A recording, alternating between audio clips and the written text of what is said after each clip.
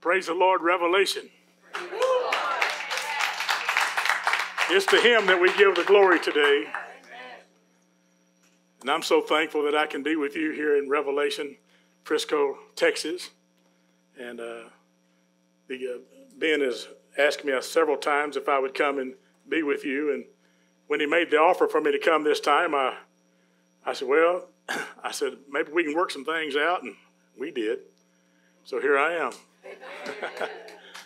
But uh, I'm very thankful uh, for you. I'm thankful for your love for our my children and uh, the, uh, that is your pastor. And uh, Benjamin goes way back in my life. He was my oldest son. And uh, I remember when he was a young boy, we taught him God's Word. And when he said we went to church on a daily basis, that's pretty much it. Lots of revivals, lots of churches that we visited.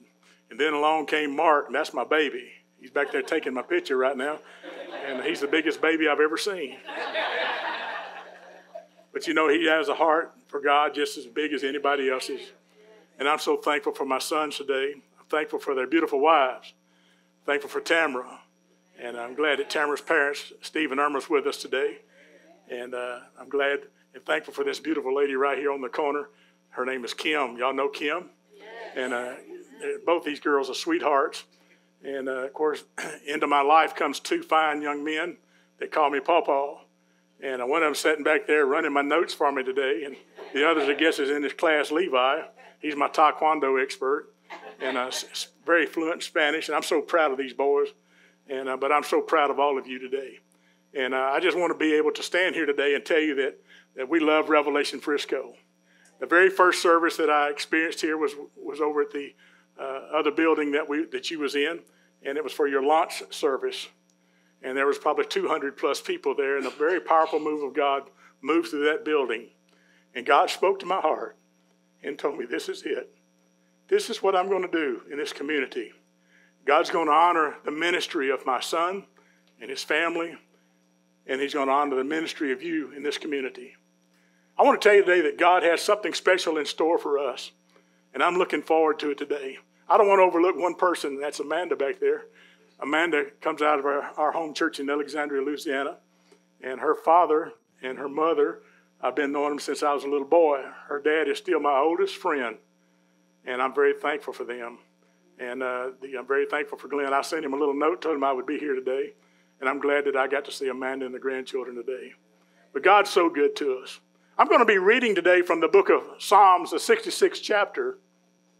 I'll probably have several scriptures to refer to today. I'm going to try to be as comfortable as I can. I've already been told that uh, that you was told that I'm a little more Pentecostal than your pastor, and I don't know if that's true or not because I know where he came from. Amen. But I go to the book of Psalms this morning. Read with me if you will. Psalm 66 and 12. Thou hast caused men to ride over our heads. We went through the fire and through the water, but thou brought us out into a wealthy place. Almost five years ago, in this community, Ben and Tamara decided to do a work for God, and I believe that God's going to honor that today. I listened to the messages that my son has ministered over the five years. I listen to them quite often, and I find myself in, in saying, God, you've given me this child, this now a man, and he's, he's so intelligent. He is very intelligent, and he's one of the best Bible teachers and Bible ministers I've ever heard, and I've heard a lot of them. And I said, if there's some way that I can bring something to Revelation to cause them to be better than what they are today, that's what I want to do because I'm not going to be able to compete with my son. But I'm not here to compete with him. I'm here to bring you God's word and establish it, help establish it in your heart. You see, this is something that I believe. I read the other day and I said, this fits Revelation so well that God has given this body of believers a fingerprint that nobody else has so that you can leave an imprint that nobody else can. This community has a lot to look forward to, and I pray until Jesus comes. And I believe today that you're about to enter into the greatest season of your life because God is about to move into your family, into your business, into your church, into your finances, and into your own personal life in a greater way than you've ever experienced in the past. Are you listening to me? You already probably know what I'm sharing with you that many of God's people today recognize that they're about to experience a change. They're about to experience it, and God's getting ready to do something wonderful in their life. We know today that God has a desire to meet our needs. We know that something big and powerful is about to happen. We don't know when, but we know that it's close to happening. We can feel it, it's in the air. God is getting ready to bless the church. I came to tell you that you're closer to your breakthrough than you've ever been before. You're closer to your breakthrough than you ever have been before. Closer than you ever would have a thought you would be before. You're closer to a miracle more than you realize this morning. I'm not talking about God going to change things down the road for you in the years to come. I'm not talking about your miracle or your breakthrough coming off sometime in the future. You're on the edge of your breakthrough right now. Can you believe that with me this morning? I said, You're on the brink of God doing something wonderful in your life. So I give the title to my message today.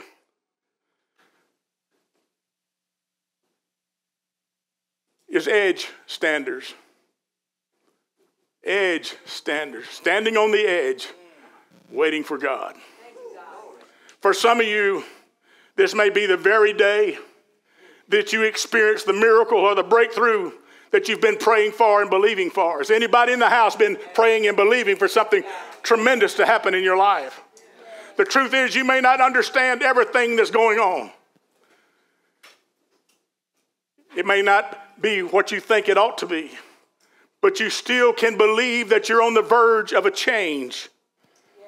In spite of the fact we know that hell hits you hard, in spite of the fact we know that you're going through the greatest trials of your life, but you still believe your change is coming, or you wouldn't be sitting in the house today looking for spiritual guidance from God. There's still faith in this house today.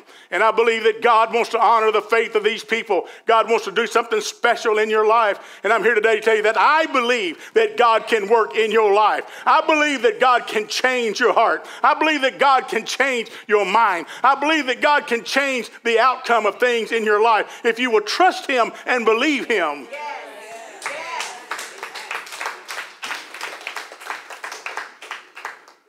You have to continue to believe that the promise that God has given you is about to come to pass. Yes, you still believe that your dream is about to come become a reality. Yes, yes. While you may not have any evidence that a change is about to take place, you have to have confidence that He is an on time God. Yes, He is. Everybody say, Yes, He is. Come on, everybody say, Yes, He is. In spite of the fact that in the natural, nothing seems to be changing. You can still have faith and you can still believe that if God said that He will do it, and if He spoke it, He will bring it to pass. If He said it, you can believe it. Numbers 23 and 19 says, God is not a man that he should lie, neither the Son of Man that he should repent. Hath he said, and shall he not do it? Yes. Or hath he spoken, and shall he not make it good? Amen. So, in spite of the fact that nothing seems to be changing in your life, in spite of the fact that everything looks like it has always, the truth is, you know in your heart, if you trust God, that a change is coming because you have a promise that God has given you. If all you have is a promise from God, I have good news for you this morning. I said, if you have a promise from God, the good news is this is that a promise from God is all that you need. Yes, you, That's all that you need. I want you to think about something. All that Abraham had was a promise. Yes. Isaac was born when he was 100 years old, and his wife Sarah was 90. With nothing but a promise, Moses led the children of Israel out of bondage. Nothing but a promise. All Joseph had was a promise that that promise brought him out of a pit and out of the prison and finally into the palace. There's a lot of room for him to say, This is not my game. This is not my place. I don't need to be here. But he knew that God was ordaining things in his life and bringing him to a place that he could use him in the right position. When Jesus died on the cross, he knew that after three days that he would rise again because he had a promise. He told them, he said he would rise again because he had a promise. He was placed in the tomb with a promise. Three days later, he walked out of the grave with the keys of death, hell, and the grave because of a promise. He said in Revelations 1:18, I am he that liveth and was dead. Can I say that again? I am he that liveth and was dead. And behold, I am alive forevermore. Amen. And he says, I have the keys of hell and of death. Read that in your word, Revelations 1:18. So, because you have a promise, you know things will not remain the same. Because of your promise, you know that your future will be better than your past. You know that a change is going to come. The world cannot understand you. The family may not understand you. Even church people may not understand you and they can't figure you out. The reason they can't understand you is because they see what you're going through, but you still have a peace and you still have praise and you have a peace because you know that you're not going through what you're going through alone. You know that the Lord God Almighty is with you. Come on with me right now. He said, Lo, I am with you always, even unto the end of the world. Matthew 28 and 20. So you still have a praise because you have a promise. yes I don't know you, but I promise if I ask every one of you to raise your hand, if you had a challenge in your life, most everybody in this room would raise their hand. You may have, be having a hard time trying to figure out what's going on at this present time. You're probably in a time when your mind is one telling you one thing and your spirit's telling you another. Have you ever been there? I've been there quite often. My mind's telling me this is going to happen and that's going to happen. And that creates worry and grief. But the Spirit says, I'm in control. The Spirit says, I'll give you a promise. The Spirit says, I've given you that word, and I'm going to live by that word. The best way I can word this is, is that your body is still in your present. Your body is still in your present. It's still experiencing difficulties. It's still experiencing pain. It's still experiencing uncomfortable situations. But your spirit has stepped into your future. And your mind is confused because it's trying to figure out what's going on. Did y'all hear that? Your spirit knows things about your future that your mind cannot even comprehend. I feel the Holy Ghost right now.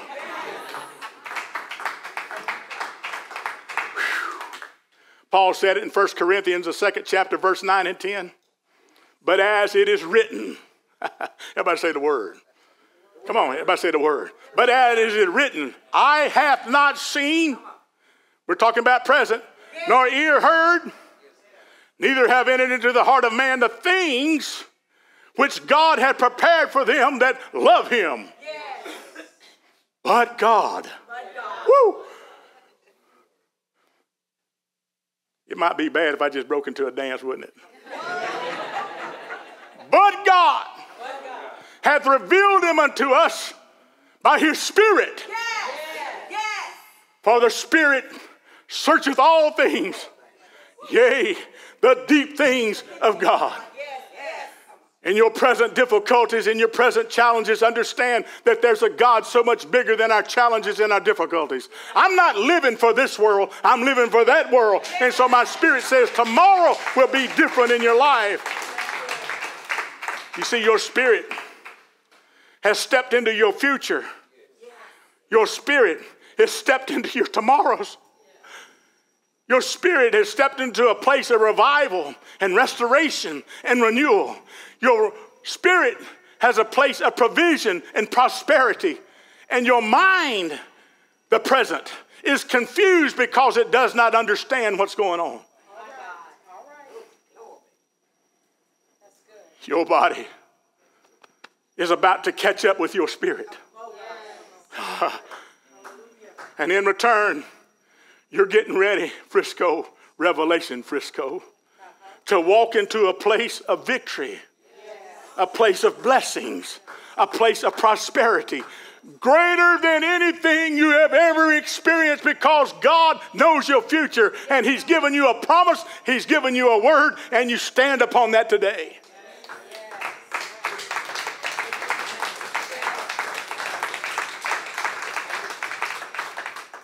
I've come to minister to you today. Several weeks ago, when Ben made contact with me about preaching today, God's Spirit began to move upon me. I felt a holy unction of God's power. And he says they're standing on the edge of a breakthrough. Now, can you take that or not? That's why you're closer to a breakthrough than you think because you cannot tolerate things you used to tolerate. That's why you can't tolerate certain people anymore. You're so close to your breakthrough that you don't have time for man's foolishness, man's drama, man's strife, and negative talk because you want to live for your future. You don't want anything to deter you and hold you back and keep you from achieving what God has in store for you because what God has in store for you is so much greater than what you have on this earth. Paul told the church at Philippi, Philippians, the fourth chapter, verse 13.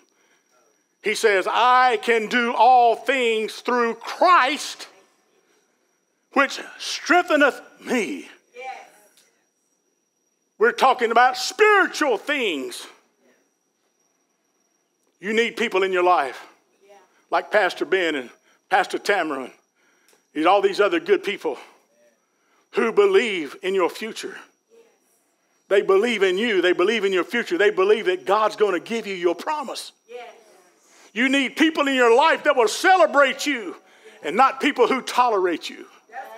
You need to tell people in your life who are jealous of you, there's no need to be jealous for me. I can't help it. It's just my turn. God's getting ready to show me my future. That's why Paul said it this way. He said to be absent in the body is to be present in the future to be present with Him, yes. to be present in His glory.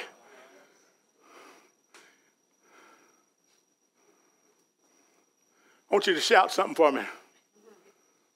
Shout, I will shout with you tomorrow. Come on. I will shout with you tomorrow. I will shout with you tomorrow. I might not be able to shout with you today because my body won't let me shout. But I can tell you this what I can see in the future through the promises of God is that tomorrow we can all shout together. We can all dance before God. We can all let the power of God move our hearts.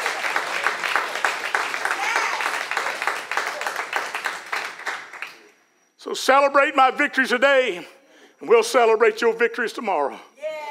Because you're standing on the edge of a breakthrough with God.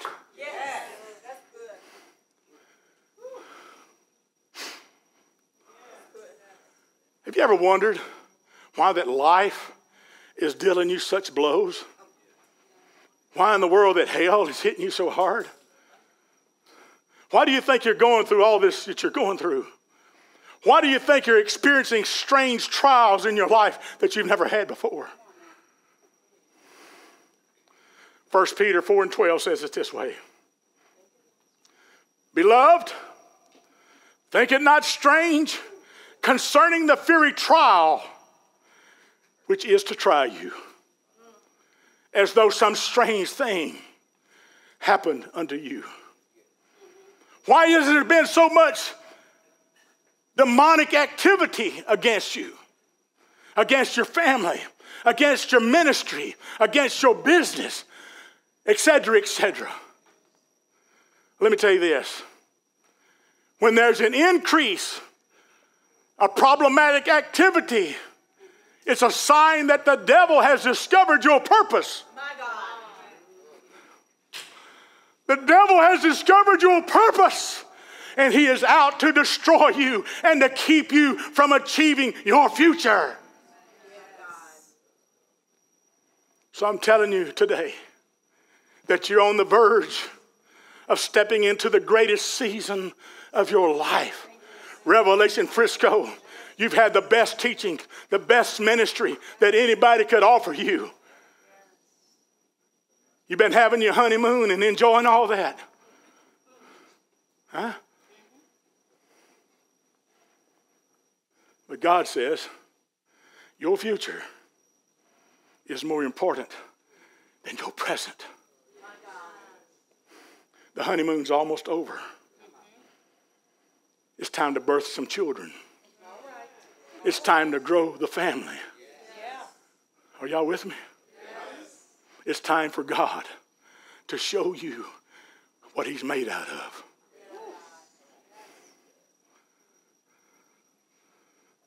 He's ready for you to step into your season.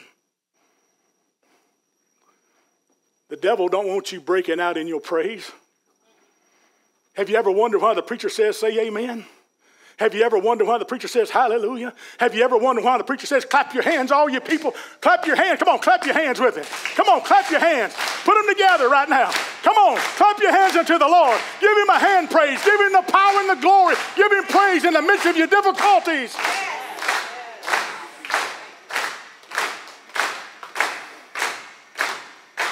You're making the devil mad.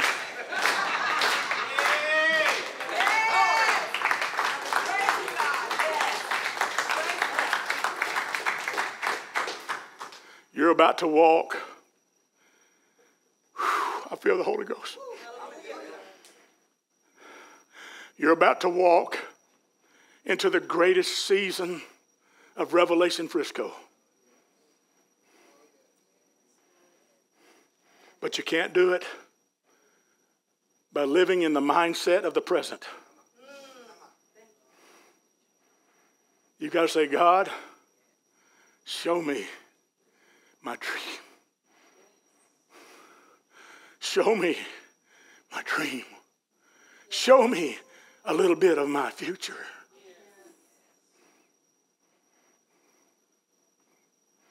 I want you to notice something about Jesus Christ.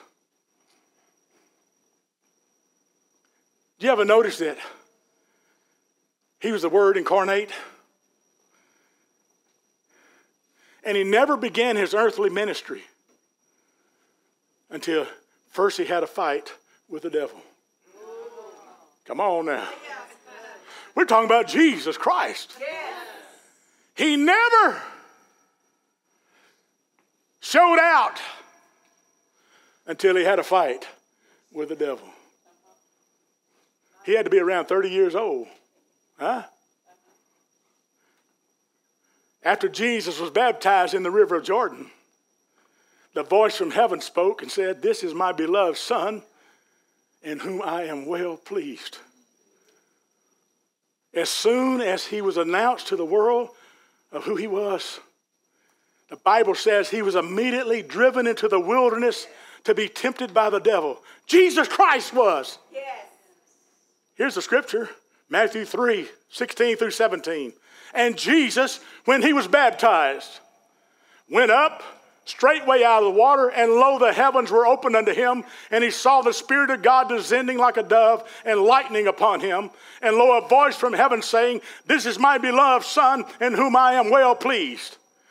Matthew 4 and 1 says, Then was Jesus led up of the Spirit, the future into the wilderness to be tempted of the devil. And after Jesus went through temptation, when? After he went through temptation. After he experienced an increase of demonic activity against him, Satan left him alone and let the angels come and minister to him. He was too much to handle. Here's what Matthew 4 and 11 says Then the devil leaveth him, and behold, angels came and ministered to him. Live for your future. Live for God. The Bible tells us in Hebrews, the 11th chapter, in the heroes of faith, that the people died with their eyes on the prize. in this body, they received nothing, but in the future, they had what was coming. There's always a blessing on the other side of your battles. And after Jesus battled the devil, the angels came and ministered to him, and he began his earthly ministry. After the temptation, he returned in the power of the Holy Ghost unto Galilee and went into the temple and began to read from the book of Isaiah, declaring that the Spirit of the Lord was upon him. Luke 4 14 says, And Jesus returned in the power of the Spirit into Galilee, and there went out fame of him throughout all the region round about. And there was delivered unto him a book of the prophet Isaiah.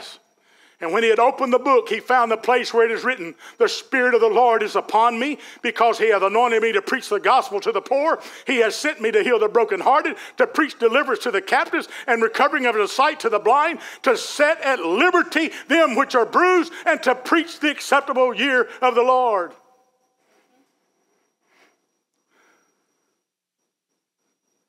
Before Jesus began his earthly ministry, he experienced a tremendous increase of opposition against him. And the same is true today. Before a person receives a miracle or experiences a breakthrough or enters into a new season of their life, they seem to always go through a time when hell hits them the hardest. That's why the scriptures tells us that there's joy is going to come in the morning. If you can make it through the darkest part of your night, I want to tell you that joy, joy, the joy, the joy, the joy, the joy, the joy, the joy, the joy, the joy of the Lord is going to come in the morning. Your faith is going to be tested. Your present is going to be tested, but you got to keep holding on. There seems to be always a time that we go through things that look totally opposite of what God showed us we was going to have. Think about this. Before Joseph goes to the palace, he goes to the pit, and then he goes to prison. Before David became king, he spends years running from a man he was going to replace, King Saul. But in the end, what God promised come to pass. Here's what I want to tell you this morning. If you stay faithful, everybody say faithful. faithful. If you stay faithful unto him, what God promises will always come to pass. Here's what I want to tell you where you are right now is not your end. Where you are right now is not your end. The pit was not the end for Joseph. Running from Saul was not the end for David. Egypt was not the end for the children of Israel.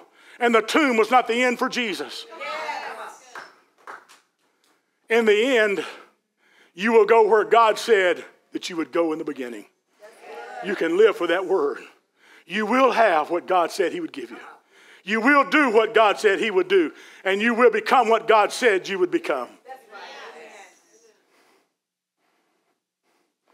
You may not be there in your present, but you're on your way. You may not be where you want to be, but neither are you where you started from. Come on. You're making progress, Revelation. You're making progress. Don't be fooled by the circumstances around you. Don't let the battle that you're in distract you because where you are is not your end. Regardless of what it looks like, stick with what God showed you. Because what He promised, you will receive. Because God doesn't lie. You got to stand in the faith like Abraham. You got to believe that God will fulfill His promises you got to believe that a change is coming. I want to read this to you. Paul wrote this in Romans 4 20. He staggered not at the promise of God through unbelief, but was strong in faith, giving glory to God, and being fully persuaded that what he had promised, he was able also to perform. Quit focusing on what you're going through and begin focusing on where you're going to. Quit focusing on what you have and begin to look at what you're going to have. Quit looking at where you are and start looking at where you're going. Quit looking at everything against you and begin to look at all the things that are for you. Hear me? Because when God is for you, who can be against you?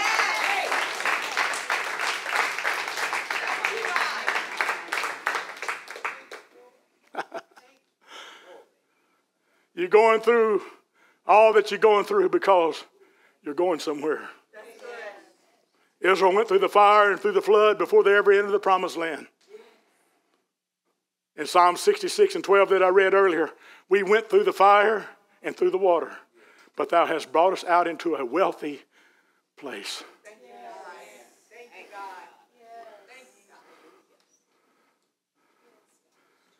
Fifteen hundred miles wide, fifteen hundred miles high,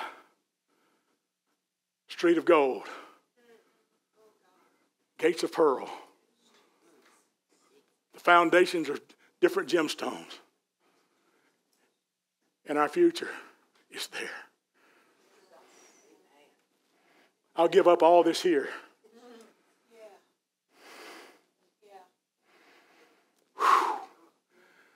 I don't know if y'all understand what I'm feeling right now, but I feel something tremendous in the spirit. It's taking my breath away. It's not about here, it's about there. It's not, not about having things here, it's about getting that over there. You may be on fire, you may be in the flood, but you're on your way to a wealthy place, a place of abundance and overflow. Because remember this the fire is temporary, the flood is temporary, the present is temporary. And the setbacks that you're having right now in your life are positioning you for a comeback in this life. Your struggle will not last forever. Your pain is not permanent. You will not remain where you are forever because a change is coming and you're too close to the miracle. You're on the verge. You're on the edge, standing, waiting for the breakthrough. Everybody say, We're on the edge. Everybody say, We're. On the edge. When somebody asks you where you are at the present time, you tell them, Don't judge me by where I am now. Because I'm not where, because I'm where I am is not where I'm going. Where I am is not where I'm going. Where I am is not where I'm going. This is not the end. Don't judge me by what I have, because what I have now is not what I'm going to have. Don't judge me by what you see, because what you now see is not what you're going to see. It's not what you're going to get, because I'm a miracle in the making. And what God has begun in us, he will finish it. We walk around sometimes like we're the finished product. Baby, we got it all together. We can shake and bake and talk to talk and we can walk to walk. But the difference is, is that when the fire gets a hold of us, it consumes us. We live in the present, but we live for the future. That's why the Bible says, Don't lay up in store here the things that moth and rust doeth corrupt, but lay your treasures up in heaven. Are you with me? Am I doing okay? Huh? The Spirit of the Lord's in the house. You haven't arrived at your destiny. Here's what Paul told Philippians in 1 and 6 Being confident of this very thing, that which he hath began in you a good work, you will perform it until the day of Jesus Christ. Regardless of what you see, how you feel, there's a change coming. You may be weeping today, but you'll be rejoicing in the morning. You can't give up now because you're so close. You're so close to the breakthrough. You need to get determined in your heart. And you need to let your faith be so strong in God that you look at that which is facing you and say, I'm living for Jesus Christ no matter what. Amen. The sad thing is that most people give up when they're on the edge of their breakthrough because they walk to the edge and it's darkness and they look down and they don't see any hope. They don't see any more distance that they can go. This is it. This is all I've got to live for. It's darkness. Let me tell you, there's so much more to that than what you can see. There's so much more to that than what you can see. Most people give up because before the things they believed and prayed for is about to come to pass, they want to give it up. Don't give up on your dream. When the heat is turned up, some people want to give up. But you can't give up now because you're about to walk into the greatest season of your life. If you stay faithful to God, God will do what He said. If you stay faithful to God, Revelation Frisco, if you'll stay faithful to God, you'll reap the harvest. The family will grow. It's almost payday. I'm trying to bring this to a close. I don't know how long I've been preaching. Am I in the red yet?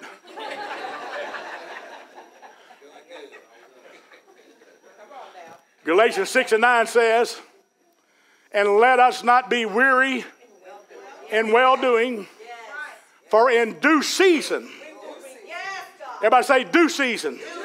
Everybody say, due season. We shall reap if we faint not. So I looked at the word due. It means it's owed to you. Thank you, Father.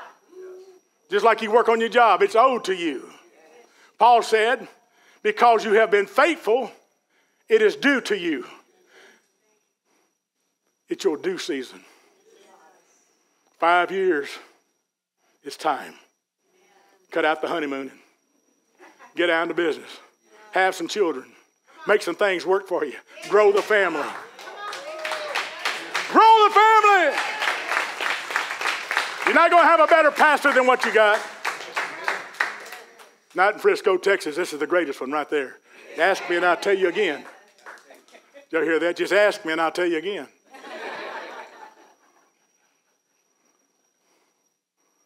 I want to close with this story. I know you're closer than what you think you are. I did not have this in my notes, and it just kind of popped up in my brain, so I quickly added it to my notes. in Matthew, the 14th chapter, Jesus had needed to pray. So he sent his disciples out onto the water so he could have some time alone. And while they was out there, a storm brewed up. And the Bible says it's during the middle of the fourth watch. You anybody know what the fourth watch is? It's between three and six in the morning. Now they done been out there a while, ain't they? Huh? If I was out there that long, and hey, I love to fish now. Uh, that's another story. That's another sermon. This may be another sermon too. Are y'all ready for it?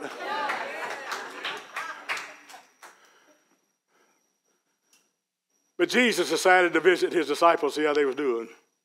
And it was storming. And the disciples were frustrated, tired. They was weary, fighting the storm. The Bible says that Jesus came walking to them on the water. Everybody say the future. future. Came walking to them on the water. And all of them began to cry out in fear. That's what the Bible says. They began to cry out in fear. Except for one.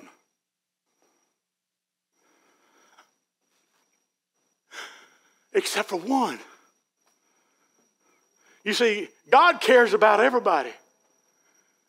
He cares about you and you and you and you and you and you. He cares for everybody.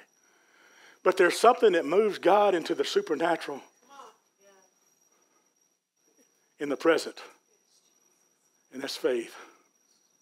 But there was one that looked up. He wasn't thinking fear.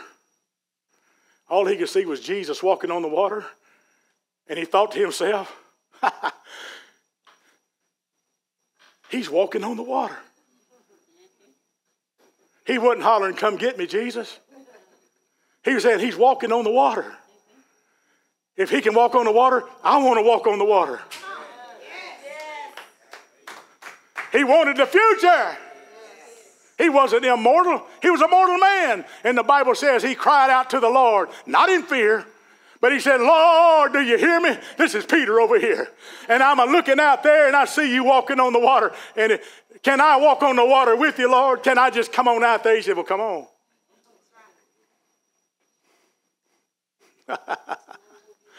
Anybody know what happened? Everybody cried out in fear. The waters are rushing and gushing over the boat. And Peter just, hey, he didn't think about putting his foot over. He didn't think about it. He wanted what God had to offer him. And God said, Step out and come. And he stepped out on the water. And the next thing you know, he was doing the supernatural. He was living his future. He was living in the power of God. And God moved upon him. And he realized where he was at. Sometimes we step out by faith and God honors it. And we wake up and realize, hey, man, I'm in trouble. That's what happened. To, that's what happened to Peter. He done this come out of the daydream thing, and he saw this storm brewing around him, and the waves crushing around him, and he started to sink. Y'all with me? Yes. The supernatural, the future said, "Oh, you have little faith. Why do you doubt? You're doing something that nobody has ever done before." You're taking steps that nobody has ever done before. You're walking on water. And he reached out his hand to him and he picks him up. And when they stepped their foot into the boat, everything got calm. You see, sometimes God's going to offer you an opportunity, Revelation Frisco, to do that which is supernatural. I'm getting another wave of that Holy Ghost. How much time we got? Ain't no time. He's giving me a thumbs up. I hadn't been here long enough.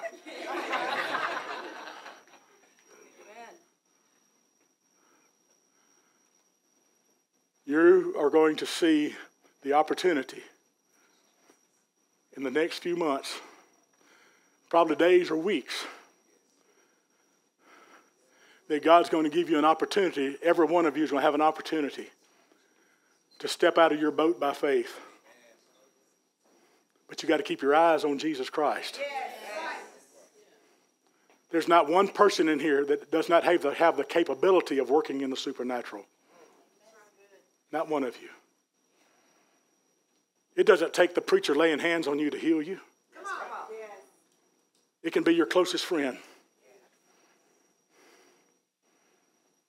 It can be the person sitting next to you right now. As we stand to our feet,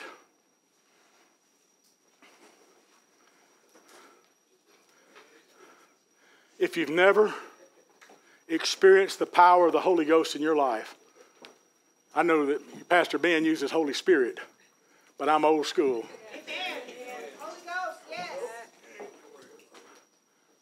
If you've never had the Holy Ghost, with the evidence and speaking in another language. I'm not pushing another language, I'm pushing the Holy Ghost. Hallelujah. I'm pushing the supernatural. I was six years old. Y'all hear that? I was six years old in Thibodaux, Louisiana. And the Spirit of God began to move. And there was another girl, six years old. We was the only kids in the church, hardly. Just, there wasn't very many of us, a couple, two, three, four of us. And the Spirit began to move. And it's the age of six years old, I felt this Spirit come over me. And I began to talk in a language I couldn't understand. Six years old. Next thing I know, I had dancing in my feet. I began to run as a small kid. I would run across the front of the church. I'd run around the church. I, I jumped over the heater. Hey, I was a heavy set kid. I'd never felt anything like that in my life. People said, well, I tell you, Pastor Sanders, I don't believe in all that shouting.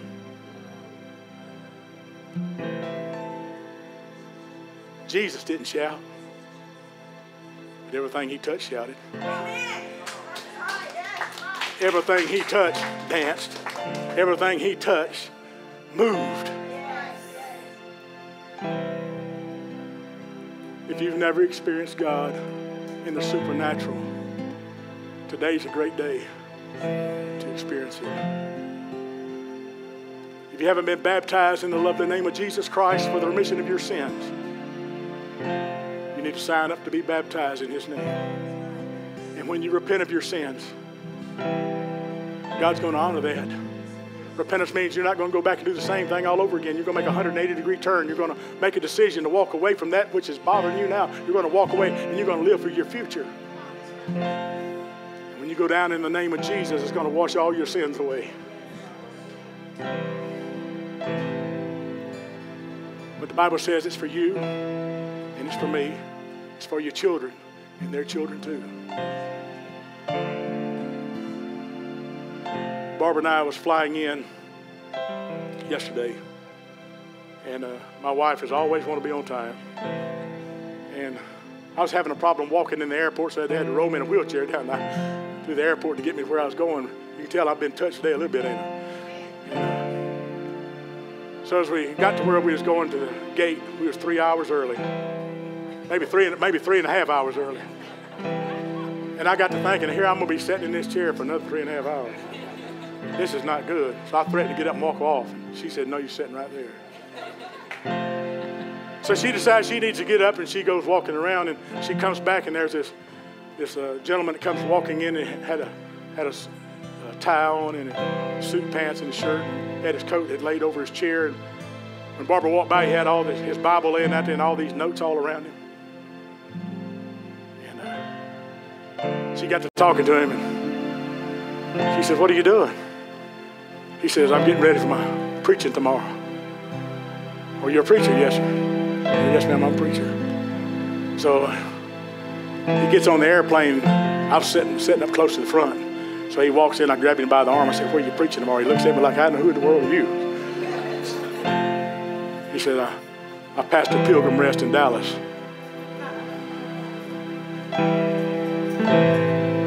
Well, the key was that Barbara was sitting there. He said, I'm reading out of Matthew. And the Holy Spirit began to move all over her. The Holy Ghost. You ever felt the Holy Ghost? I feel it right now. It's just like a chill running all over me right now. Ah, refreshing. So he gets on the plane, and I thank him for who he was. And I got on my Facebook while I still had a chance, and I looked him up.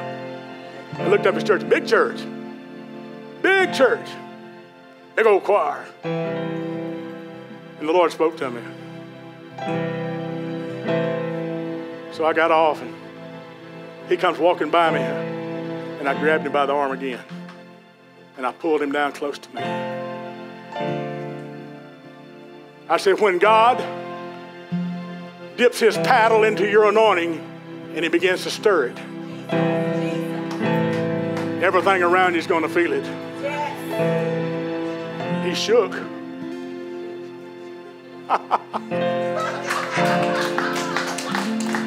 he said, I accept that. I was in my, had my worn out blue jeans, my big old shirt on. You know, he probably thought that that guy was messed up anyhow. But he accepted it. So I want to tell you the same thing I told him. Today, God's going to dip his, already has, got his paddle into the anointing of Revelation Frisco right now. And he's getting ready to scull it, turn it. And he begins to turn it. Folks, you're going to have to get up and get it or get out of the way. It's going to happen. And it's ready to happen to some of you right now. If you want to be touched of God, I want you to come down and on front. Come on.